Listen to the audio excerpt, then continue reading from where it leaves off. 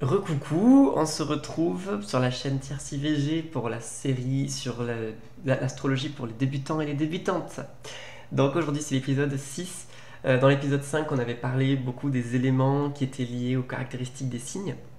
Euh, donc on avait essayé d'être un peu, euh, le moins caricatural possible, sachant que donc les éléments c'est une forme de dichotomie, on partage en deux, euh, on fait d'un côté les masculins, d'un côté les féminins, d'un côté la raison, d'un côté les sensations, d'un côté euh, les signes actifs, de l'autre les signes qui sont plus dans le lâcher prise et dans l'accueil de ce qui leur arrive. Donc tout ça, vous avez vraiment compris, moi je ne suis pas trop favorable à ça, je ne suis pas favorable à euh, des à des, des partages en, deux aussi caricaturaux. Donc c'est bien pour euh, cette raison que je souhaite maintenant entrer dans le vif du sujet de ce qu'est l'astrologie, c'est-à-dire l'interprétation.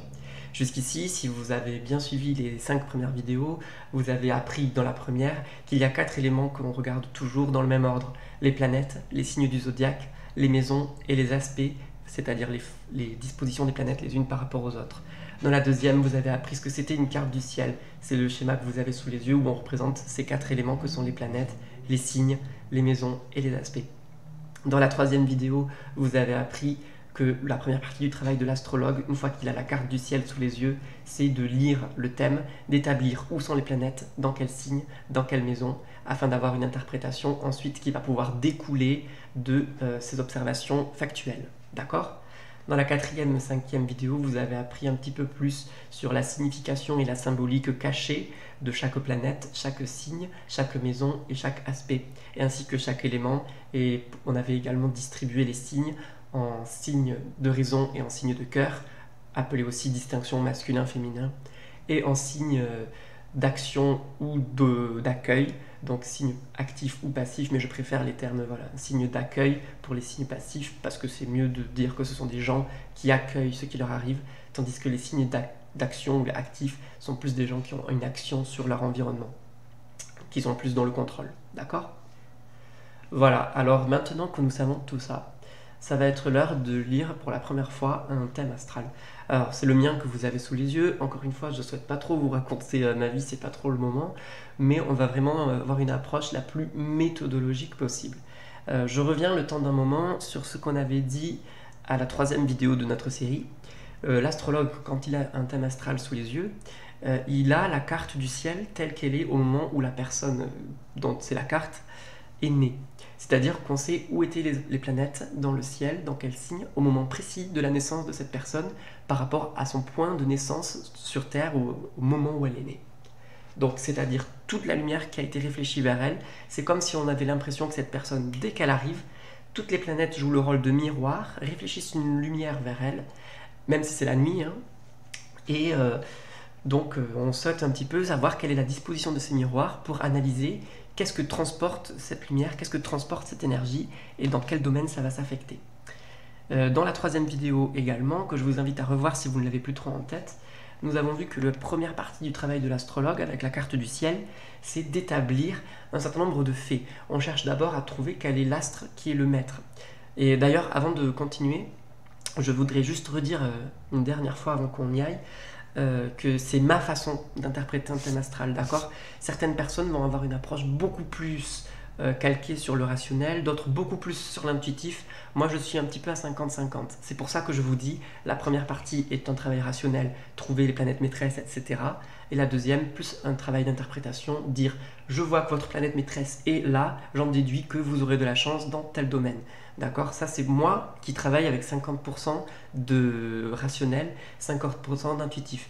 Mais il y a des gens qui n'auront pas du tout besoin de rationnel et qui vont directement avoir leur intuition qui va être captée par la position des planètes et qui auront très peu recours à voilà, calculer les angles, etc. Et il y a des gens qui, à l'inverse, vont devoir tout calculer avec minutie, avec leur cerveau, et qui vont avoir très peu recours aux, interprétations parce qu'ils ont peut-être peur de se tromper à ce niveau-là. Et c'est tout à fait logique. Je ne veux pas dire que ma méthode qui utilise les deux dans cet ordre soit mauvaise ou, au contraire que ce soit la seule qui est bonne. C'est la mienne, c'est celle-là que je partage avec vous puisque c'est ma chaîne. Hein. Je fais encore euh, ce que je veux, mais je veux dire, soyez avertis, il existe d'autres méthodes. Je ne vous présente qu'une des méthodes possibles, c'est-à-dire la mienne, et je vous explique comment moi je fonctionne. Donc, dans ma façon de fonctionner, La première partie du travail, c'est celle que j'ai décrite dans la troisième vidéo. On trouve la planète maîtresse, on trouve les signes les plus importants, les maisons les plus importantes, les aspects les plus importants. Et donc nous avions vu dans la troisième vidéo que pour ce même thème qui était notre exemple, la planète maîtresse c'était Jupiter, le signe le plus important c'était le signe du Sagittaire puisqu'il correspond à cette planète, qui est la planète maîtresse, et qui correspond aussi au signe solaire, donc c'est un signe très important. Le deuxième signe important c'est bien sûr l'ascendant pour toutes les personnes en général, parfois même c'est lui qui prend le dessus. Euh, ici le signe du Gémeaux est dans l'ascendant, et le Gémeaux est régi par Mercure. Mercure est aussi dans le Sagittaire, donc ça nous tend quand même à penser que c'est le Sagittaire le signe le plus important pour cette personne. Euh, et enfin, euh, les maisons, 7, 8 et 9, puisque c'est là qu'il y a le plus de planètes, ce seront ces domaines-là qui vont le plus nous intéresser par rapport à cette personne. Et enfin, les aspects, donc les conjonctions qui effectivement relient toutes ces planètes. Là, il y a tellement de conjonctions qu'on ne peut pas l'ignorer, d'accord? C'est ça qui est le plus important. Donc Jupiter, Sagittaire, 7, 8, 9, conjonction. Voilà les clés de ce thème qui est volontairement facile. Encore une fois, tous les thèmes ne sont pas aussi euh, évidents à décrypter. Des fois, les choses sont un peu plus éparpillées. C'est tout à fait normal. Ne vous affolez pas si votre thème est très différent. C'est logique. Hein. Et plus tard dans notre série, je mettrai euh, d'autres thèmes euh, comme exemple qui sont un peu plus complexes pour qu'on comprenne un petit peu mieux comment ça fonctionne. Mais là, vraiment, on est sur des vidéos de méthodologie. Donc, je choisis volontairement des cas simples. Et comme je sais que je suis un cas assez simple, c'est pour ça que je me suis pris en exemple. D'accord, donc maintenant on sait lire le thème, on sait voir où sont les planètes, on a repéré notre planète maîtresse, notre signe maître, nos maisons les plus importantes et notre chapelet de conjonction qui va nous intéresser. Ça c'est ce qu'on a acquis qui est objectif et sur lequel on ne peut pas discuter. D'accord? On sait que c'est ça, tout le monde le voit, on est tous d'accord, c'est ici que ça se passe, c'est pas du tout là. D'accord? C'est pas le cancer, c'est pas la Vierge, on est tous d'accord qu'objectivement, c'est ici que ça se passe. D'accord? Donc, sur ça, c'était la partie objective. Maintenant, on passe, je vous présente le deuxième volet de mon travail, qui est le volet interprétation. D'accord? Et pour cela, nous allons avoir besoin de ce que j'ai mentionné dans les deux dernières vidéos, c'est-à-dire les connaissances sur les symboliques des planètes, des astres, euh, des signes, des maisons et des aspects, ainsi que des éléments et des signes masculins, féminins, actifs, accueil. Ok? Euh, pour la suite, euh, donc, je fais une minute, une pause. Quand vous regardez une pièce de théâtre, d'accord Souvent on compare euh, l'interprétation d'un thème astral à être spectateur d'une pièce de théâtre. Dans une pièce de théâtre, quand vous regardez une pièce de théâtre que vous êtes au théâtre, qu'est-ce qui vous donne le plus d'informations sur l'histoire? Qu'est-ce qui vous paraît le plus important? Quelle est la première chose qui fait que vous préférez aller au théâtre? Plutôt que de lire le livre de la pièce de théâtre. Dans mon cas, peut-être que nous ne serons pas tous d'accord, dans mon cas, ce sont les acteurs et les actrices, d'accord Les comédiens les comédiennes. C'est ces personnes-là qui rendent la pièce vivante, d'accord? Et c'est parce que ces personnes-là sont importantes qu'on va les prendre en considération en premier. Donc les comédiens. Mais il n'y a pas que des comédiens quand on va au théâtre, il y a aussi des accessoires, des costumes, des masques, mais aussi des décors et également euh, toute une sorte de mise en scène. On accorde énormément d'importance à la disposition des objets entre eux, par exemple, ou à la musique, ou au regard, aux interactions avec le public, par exemple. Pourquoi je vous raconte tout ça? Parce que c'est assez facile pour un débutant ou une débutante de faire l'analogie avec la pièce de théâtre quand on essaie de décrypter un thème astral. Imaginez-vous que les planètes et les astres, qui, donc sont les seuls parties mobiles, hein, on avait vu dans la première vidéo que, à l'exception des planètes et des astres, euh, rien n'est mobile dans le système solaire. Les signes, ce sont liés à des constellations qui ne bougent pas ou qui bougent très très peu euh, en fonction de la précession des, des équinoxes. Mais ça, c'est un phénomène qu'on voit depuis la Terre, d'accord? Objectivement, seuls les astres sont en mouvement. Donc les astres ici vont jouer le rôle des comédiens et des comédiennes de théâtre. Ce sont eux les plus importants. C'est pour ça qu'ils sont le premier élément que nous allons regarder. La deuxième chose qui est importante, euh, c'est euh, les, accessoires et les costumes et les masques. D'accord? Imaginez-vous que les signes du zodiaque sont comme des, costumes ou des masques ou des rôles. Par exemple, imaginez-vous que le lion, c'est un costume de chef, par exemple. D'accord? Que le cancer, c'est un costume d'artiste. D'accord? Ce sont comme des costumes ou des masques qui vont permettre aux personnages, aux acteurs, aux comédiens, d'incarner un rôle. Par exemple, euh, si, je ne sais pas, si Mercure arrive dans le lion, on va considérer que Mercure revêt une teinte, revêt une couleur un peu plus liée au leader. Si un astre arrive dans le cancer, on va considérer que, que symboliques, les symboliques de cet astre, vont être plutôt reliés au domaine artistique, par exemple. D'accord? Donc, les astres sont nos comédiens, nos comédiennes. Les signes du zodiaque sont nos costumes ou nos masques, comme vous préférez. Euh, ensuite, il y a les maisons. Les maisons sont comme nos décors, d'accord? Ce sont euh, les endroits, les sphères dans lesquelles se joue l'intrigue. Par exemple, si je prends euh, la maison 4, il s'agit du domaine de la famille et des origines. Donc tout astre qui arrive dans la maison 4 va jouer un rôle concernant la famille, concernant le foyer. La maison 9 correspond aux études. Tout astre qui arrive dans la maison 9 va jouer un rôle correspondant aux études ou aux voyages, puisque ce sont des caractéristiques de cette maison. Et enfin, les aspects, eux, ils sont en rapport avec la mise en scène, d'accord? La mise en scène, c'est-à-dire la position des personnages entre eux, les regards qu'il peut y avoir entre eux, s'il y a quelqu'un qui tourne le dos au public, s'il y a quelqu'un qui fait face au public, le public étant la Terre. Donc, euh, ok Est-ce que l'analogie, elle vous parle? Les astres sont les comédiens qui se déplacent dans l'espace, ils peuvent changer de costume et du coup avoir un rôle tout à fait différent. Ensuite, il y a euh, les maisons, qui sont les lieux où se passe l'action. Est-ce que l'action se passe au travail, en famille, avec les amis, uniquement tout seul, dans une relation de couple? Ça, ça va être ce que les maisons nous apportent comme information. Et en dernier, les conjonctions, les oppositions, les aspects, ce sont les paramètres de mise en scène, c'est-à-dire qui se regarde, qui ne se regarde pas, qui est à côté, qui au contraire est éloigné, qui travaille ensemble, qui est l'un contre l'autre. Ça, c'est la mise en scène. Et aussi, quelle est la disposition par rapport au public, le public étant la Terre, l'observateur géocentrique. J'espère que cette analogie vous parle parce que je vais beaucoup y faire référence au cours de la suite de cette vidéo et sûrement les prochaines. Donc maintenant qu'on sait tout ça, on sait que notre travail de méthodologie euh, de la partie intuitive, ça va être de traduire ce graphique en script de pièces de théâtre. Donc par exemple, je me rappelle quel était l'astre important, l'astre qu'on avait dit planète maîtresse de ce thème. Il s'agissait de Jupiter. D'accord? C'était Jupiter l'astre maîtresse. C'est pour ça qu'on va commencer par Jupiter. On pourrait commencer dans n'importe quel ordre et les faire un par un, par exemple de la plus proche du Soleil à la plus lointaine. On peut le faire, ça on peut le faire si par exemple on n'est pas sûr d'avoir trouvé la bonne planète maîtresse.